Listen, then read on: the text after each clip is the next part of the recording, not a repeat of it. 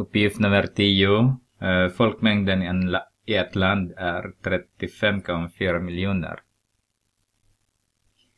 Och beräknas öka med 0,8 promille per år.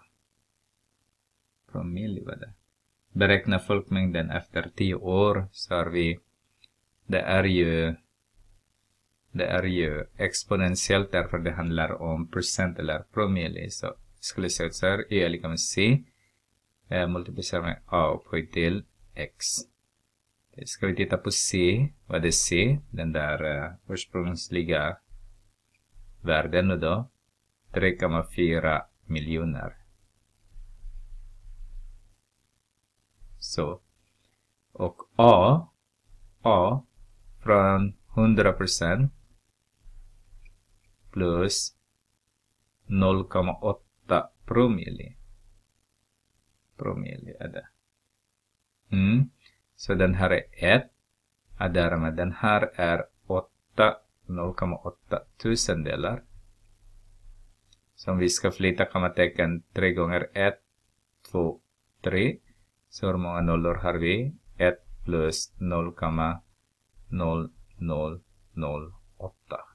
Så vårt A är 1,0008. Så vårt funktion nu är 35,4. Vi behöver inte skriva miljoner. Men vi skriver här senare 1,008 upphöjt till x. Och så skriver jag på sidan här miljoner. Pratar vi om. Och frågan är Beräkna folkmängden efter 10 år så vår x är lika med 10. Så vi y är lika med um,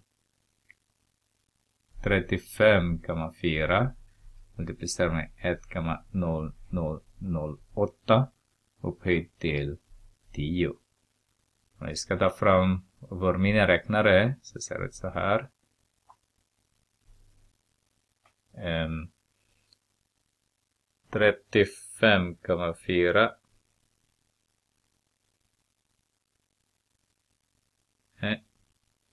35,4 eh, multiplicerar med 1,0008 upphöjt till 10. Så har vi 35,7 cirka 35,7 miljoner.